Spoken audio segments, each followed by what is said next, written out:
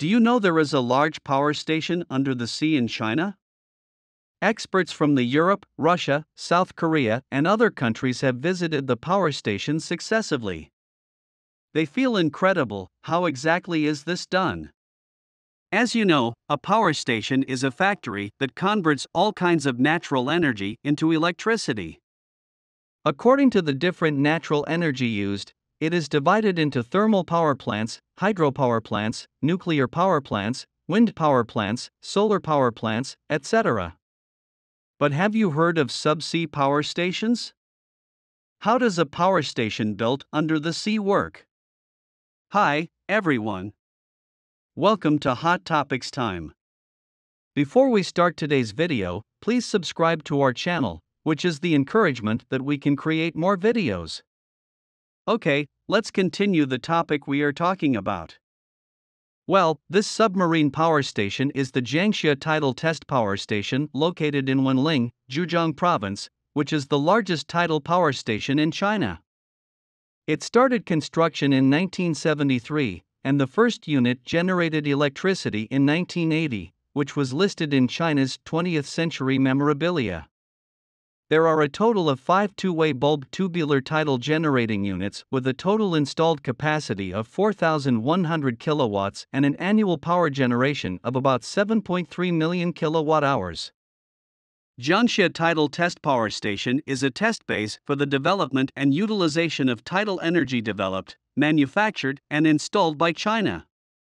Its power station construction practice has proved that it has the advantages of no immigration, no energy consumption, no flood threat, no impact on ecological balance and environmental pollution.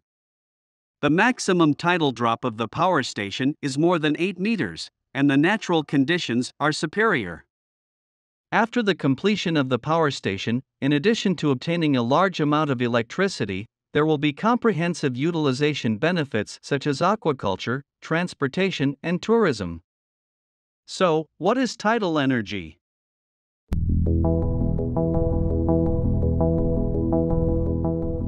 With the depletion of coal and oil resources, coupled with its pollution to the environment, people are constantly exploring new energy sources. Wind energy, nuclear energy, geothermal energy, and hydropower are constantly emerging in new forms of power generation. However, there is also a clean energy called tidal energy. Its power station is to be built on the seabed. How does it generate electricity? Compared with ordinary hydroelectric power, what are the advantages? Before answering the above questions, let's first understand what tide is. Gravity exists in everything in the world, and the seawater is no exception. Under the gravitational action of the two celestial bodies, the Sun and the Moon, the seawater will experience a force called tidal force. The celestial body keeps rotating, and the tidal force changes accordingly, and the seawater will rise or fall under the action of the force, which is what we commonly call ebb and flow. The mass of seawater is so great that its movement naturally contains huge kinetic energy, which is tidal energy. It is not only inexhaustible, but also clean and environmentally friendly, which is naturally favored by people. It is similar to the principle of ordinary hydropower, but the form is different. Ordinary hydropower uses the gravitational potential energy hidden by the water level difference of the river, while tidal power relies on gravity.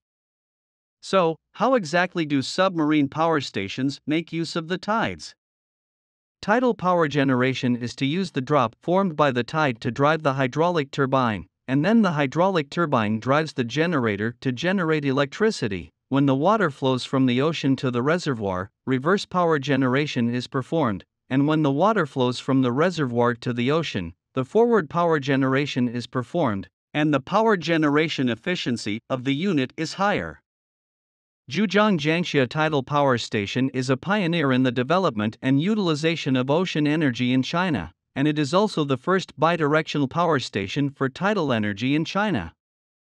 Tidal energy is more stable than wind energy because the tide is a fairly regular periodic movement, Compared with solar energy, tidal energy has less impact on the environment. Solar power generation uses photovoltaic panels, and the process of producing photovoltaic panels will pollute the environment.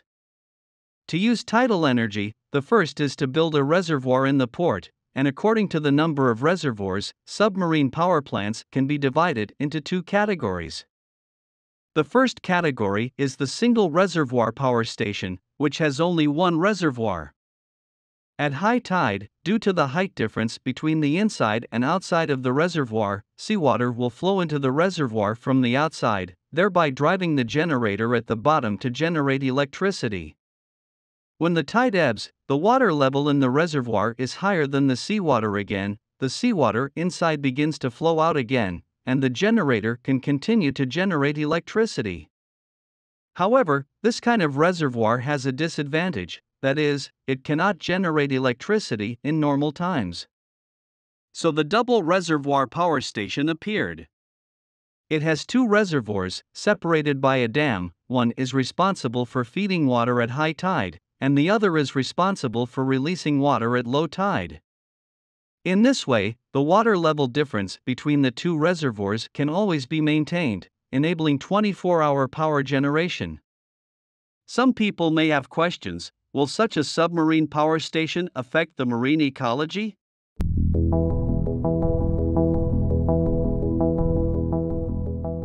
Actually, not. The tidal power station has no noise during operation, and there is a protective layer outside, which will not interfere with the normal survival of marine life.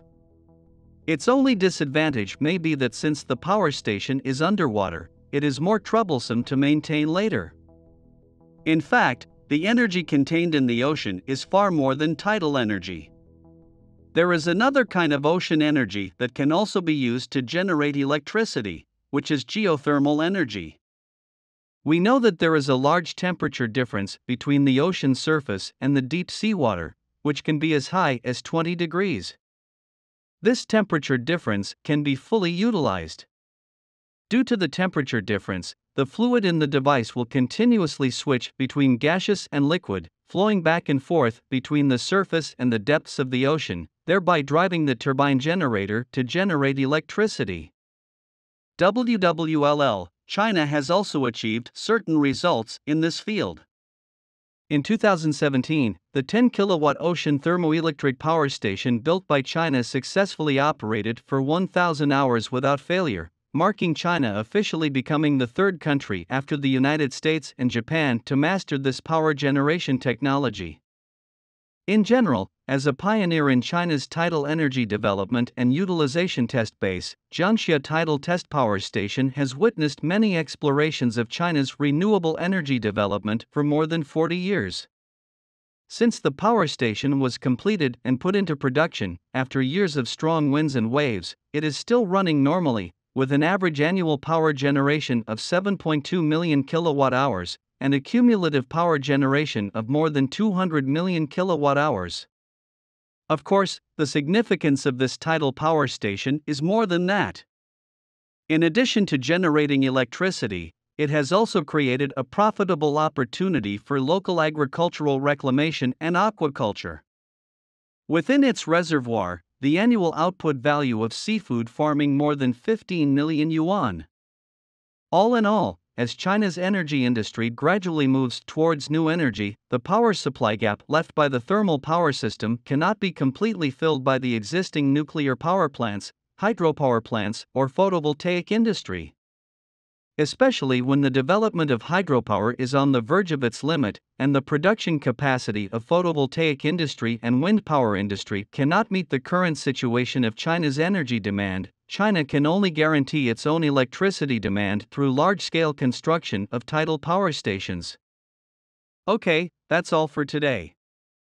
Hot Topics time, time to explore the wisdom behind the news. We will see you in the next video.